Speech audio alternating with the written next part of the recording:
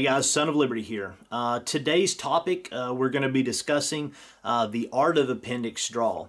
Now, if you are a subscriber to my channel, you may recognize that title. Uh, I actually released that title uh, in a video several months ago, uh, and I just wasn't happy with it. Uh, and since then, I've picked up on some additional information, uh, and so I decided to remake it. Now, in that video, if you are watching this for the first time, I'm going to be discussing a variety of techniques of clearing the garment. Now, if you are a, you know, a very advanced shooter, uh, you know, there may be information that may not be beneficial to you. Uh, if you are new, uh, I hope that this video can help uh, shorten the learning curve for you. If you are new to appendix carry and you're looking at ways to uh, better advance your training uh, and of course your speed in getting the gun up into the fight. All right. So uh, first and foremost, we have to look at our clothing. Our clothing creates a barrier, especially of course if we're carrying concealed, creates a barrier to that gun. Now, uh, I'm going to be discussing several different techniques in order to, to overcome that, uh, that garment. Uh, the first one we're actually going to be talking about is the, uh, I call or refer to as the C-clamp uh, or the actual uh, cupping method, okay? Um, the second method is going to be the thumb method, and that's where we actually use our thumb to create a hook okay? And it's actually uh, it works very very well. Uh, the third method is the pinch method and the fourth is the grab uh, as I refer to it. Now in this video there's a couple other things that I'll be talking about. Of course one-handed clearing of the garment uh, two-handed clearing of the garment or two-handed. And here's what I mean by one-handed is the one hand is clearing the garment as well as going for the gun. All right, two-handed is where my support hand, whether you're right or left-handed, it doesn't matter. Your support hand clears the garment while your primary hand goes for the gun. And that's what I refer to for the purposes of, of this video, two-handed. All right, uh, and I'll also be discussing what's called the threshold. And when I refer to the threshold, is I am discussing the area here to where we've got the garment up into the threshold that it does not impede with our ability to either get to our gun or our magazine if we are running an additional magazine here. All right. So without further ado, uh, I want to also discuss uh, your your clothing. Okay, um, not all shirts are created equal. Uh, different shirts and from different manufacturers uh, are going to wear differently. Uh, they're going to hang differently, so they're going to have different lengths. Uh, and they're going to be made out of different materials. So some clothing uh, items that you have may have a lot of flexibility and a lot of stretch, and others may be very rigid.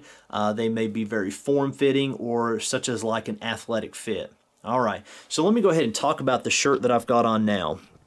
Um, this is just a standard uh, button-up shirt. Uh, if you wear a lot of these, um, I want to kind of go over some different techniques that you can use to overcome this style of garment. Now, um, from most circumstances, okay, now I won't be going into any detail uh, on you know one-handed or if or excuse me if you're wounded uh, doing offhand clearing of the garment uh, that's going to be more for an advanced class. Um, I'm just strictly talking about your primary hand and in any other normal circumstances using both hands to uh, go for the gun. Once I've discussed all these options then I'll go over to the actual grip all right?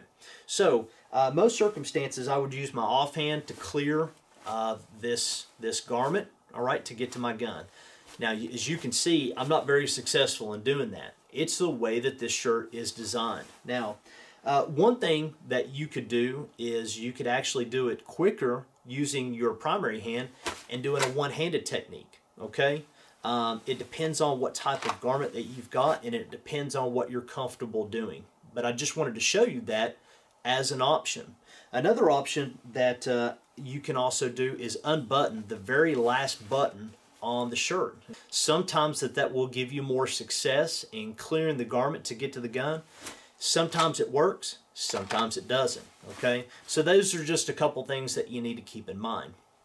Now, um, let me actually change shirts here real quick, and then I'm going to go over some of the other uh, primary methods for overcoming the garment. All right, so I've just got a standard uh, polo on from Under Armour. Uh, it's a very flexible shirt. Uh, generally speaking, if I wear polos, these are the types of polos that I like to wear. It makes it very easy to overcome the garment.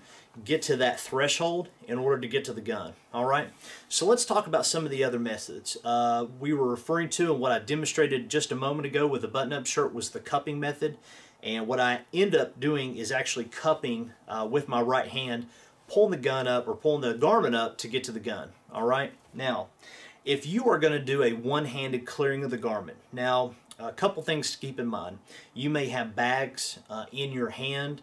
You may uh, be in a situation where you're startled and for whatever reason you don't drop those items okay? Your first instinct is to go for the gun so you automatically do it uh, just out of a response all right? So that's that's one reason that you you might use a one-handed method.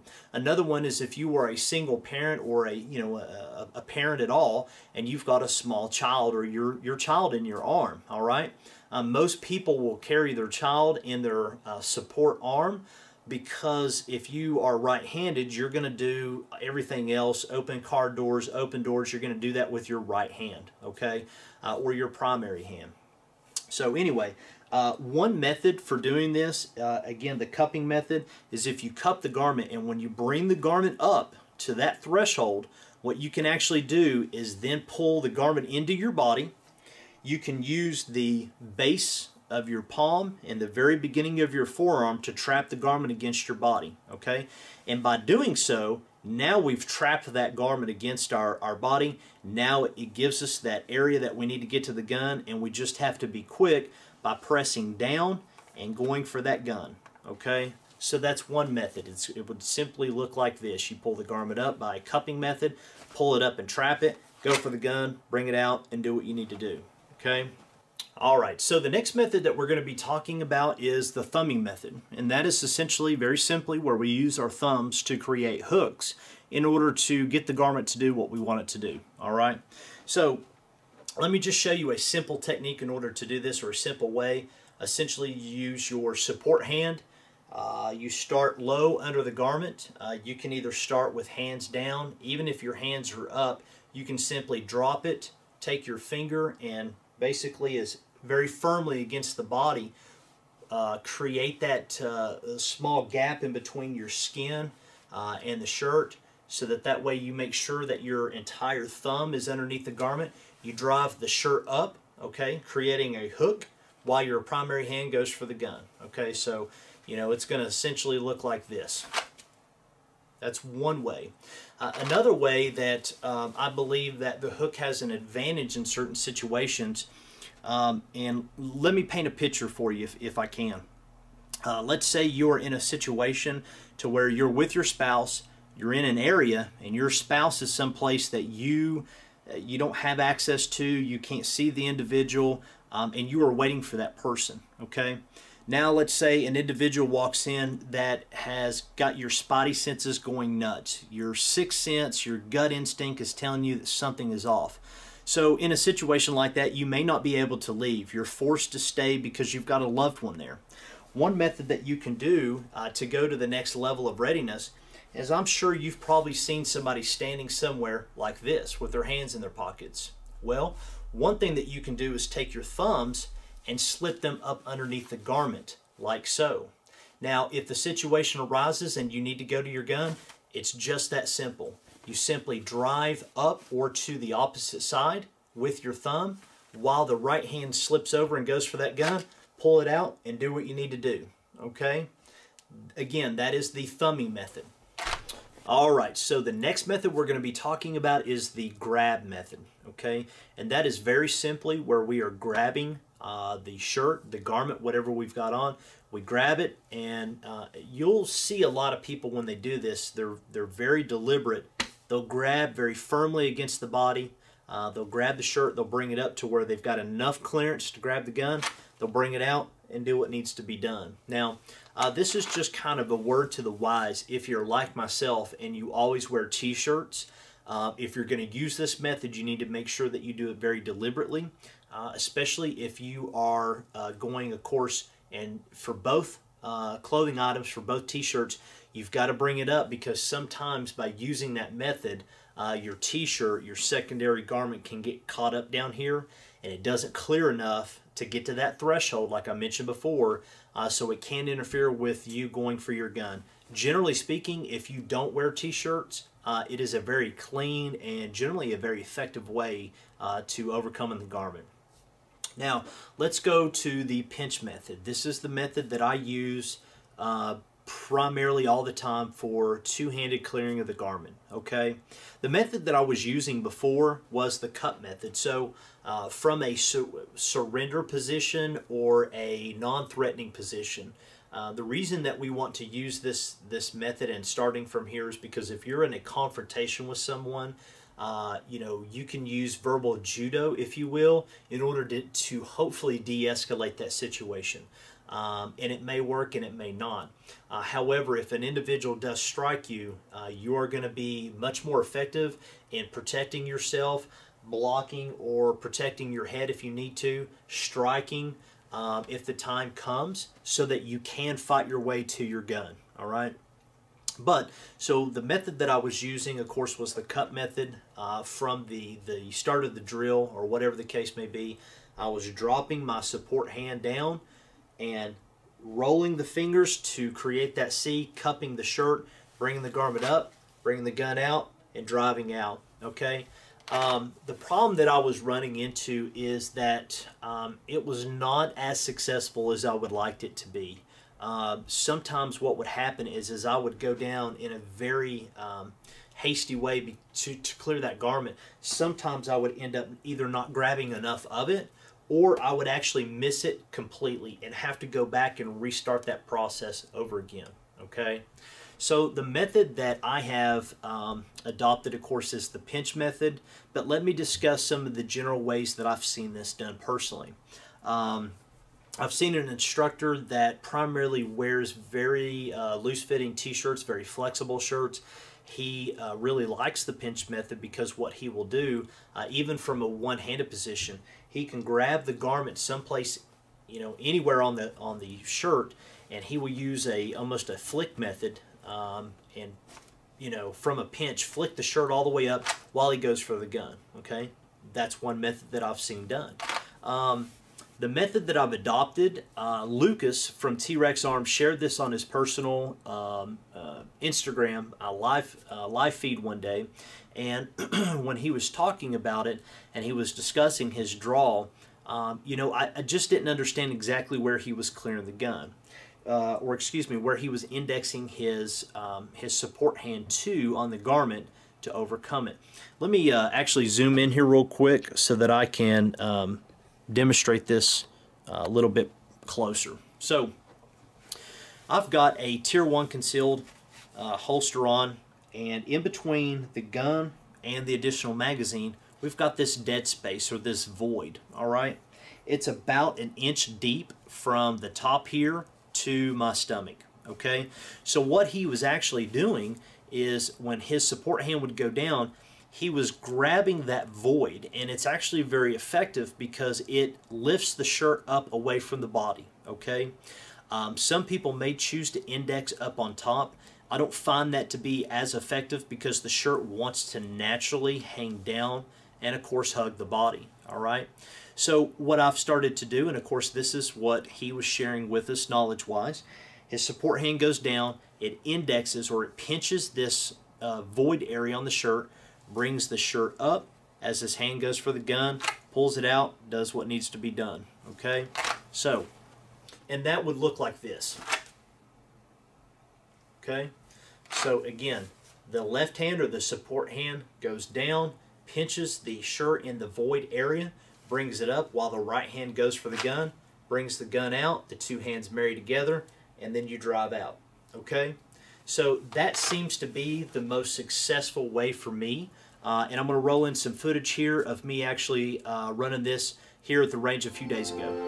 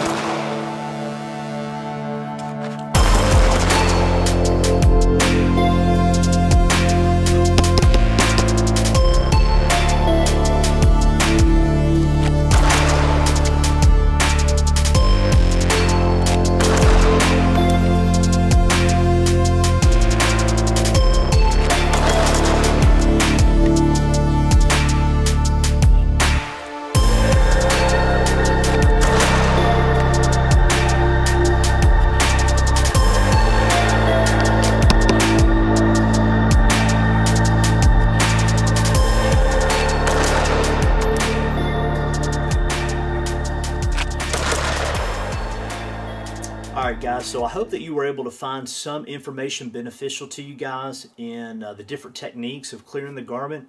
Uh, again, if you are new to carrying appendix and you're just learning this, I really hope that this can help uh, shorten your learning curve. Now, uh, now we're going to be talking about the actual grip. So uh, just kind of a, a little bit of forefront information. This is just the way that I personally grip the gun. It is not the way. It is not the only way. It is just a way, okay? I'm just going to simply be sharing with you the way that I grip the gun after I have overcome the garment, whatever method that I'm going to be using based on the situation, okay? So let's just focus on the grip now if I am forced in a situation to where I know that I'm going for the gun and I know I'm only going to be using a primary hand, okay, um, then what I'm going to actually do is once the garment is cleared, my right hand is going to get as high up on the beaver tail as possible and grip the gun. So when I come out, my hand is going to look just like this, okay? This gun has already been previously cleared. That is exactly how I'm going to grab that gun you can see I am as high as I can up on this uh, beaver tail here. Um, and so this is going to give me the best ability to mitigate recoil as possible. Okay. Uh, now driving out and different techniques and different ways that you can position your arm, uh, those are things that are primarily going to be taught in an advanced class. Okay, so I'm not going to go over any of those methods. I'm just simply talking about the grip. So again, uh, if I'm forced to grab the, the gun one-handed, I go up, I clear the gun, and when I come uh, down, I grab out so that I am in the best position, again, to, re to mitigate that recoil. Looks just like that. You can see I am firmly uh, gripping uh, this gun uh, because I need to um, make up for the loss that I don't have a support hand to help me. Okay. Now, for a two-handed method. I do alter my grip when I'm using a two-handed method. Uh, again, this is just something that I uh, personally use. I like the method, so let me demonstrate.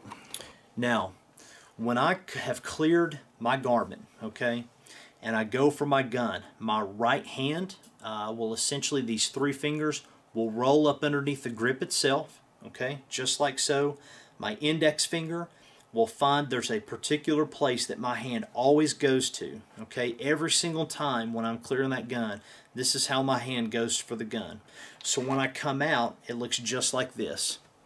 My thumb is uh, basically laying flat here on the rear um, sight. It's almost like I'm pushing a button. Okay, my finger is always indexed on the frame okay, so that that way there's no chance that I can uh, slip and go for the trigger, okay, before it's time. And you can see there the three fingers, and this is what it looks like on this side, all right? And the reason being is that you'll see that I've got this whole entire area that my support hand needs to go to, okay? So I'm going to demonstrate this from this angle to try to get all this in. So my, my primary hand goes for the gun as it comes out and when I've reached an area to where I know that the gun is out, it's free of the garment, and I've dropped my elbow, at this time, I can then let go of the garment. My secondary hand can then move in, all right? And what happens is there is a place directly here between the knuckle and the very end of the finger where it actually meets here on the actual frame uh, the trigger guard of the gun. Okay, so as I let go of the garment, that that secondary hand comes in and it grips or it actually meets a uh, an index point and then essentially what I do is as I'm driving out I roll those fingers in okay and then essentially I start to pancake the rear of the grip here I start essentially squeezing. And then what happens is as I'm driving out, I've got all this area that my thumb can essentially just slide into, if you will. Then the right thumb drops over on top, right in line, okay? Uh, let's see if we can do this a little bit more efficient. So again, uh, my right hand, my left hand goes, I clear the garment. I'm going to use the, the cupping method for this demonstration. Comes up, my right hand goes for that gun. As it comes out, I drop my elbow. Now, um, I've got this entire area that essentially my left hand can can almost kind of slide into so it looks just like this as I drive out okay again let's demonstrate that one more time just like so okay now couple things to mention as again as my right thumb is up and as my left hand here's a couple things that you need to remember your form is going to suffer as you increase your speed, okay? You want to build a good foundation and have a very good form before you build the speed. Again, slow smooth, smooth is fast, all right? It's not going to do you any good to increase your speed if you don't have good form, all right? Again, this is the method that I've used, uh, that I personally use. This is a method that I've seen a lot of other instructors use as well. So uh, whether you agree with it or not, it is something that works for me. Um, again, one thing that we need to keep in mind on the rear here, as I am driving that gun out and my support hand comes up to meet, almost think of it as like a karate chop. We are adjoining the two hands together, and then what we're doing is we're rolling those fingers. We're just going to roll them in, allow this to kind of pancake here on the rear, and then as soon as I do this, my thumbs drive forward and point to where I want to go. All right. Now, in some of the videos, uh, of course, the video that you saw previously, it is harder to see it even if I slow down the videos. But again, it looks just like that. I am essentially bringing in that thumb right in line behind it as I drive out. Okay. All right, guys, that's going to conclude this video of the art of appendix draw. Um, I do hope that you were able to pick up on some information from it. And uh, if you've not had a chance, uh, I'll make sure to post a link to the uh, previous video because essentially this is a two-part series. Uh, part one is the art of appendix carry. Um, now, uh, if you are not a subscriber, make sure you hit that subscribe button. I'd love to have you on board. And until next time, guys, take care. Be safe.